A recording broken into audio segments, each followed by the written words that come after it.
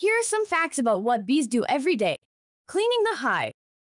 Bees are very hygienic and spend a lot of time keeping their hive clean. They remove any dead bees, debris, or waste from the hive to keep it free from bacteria.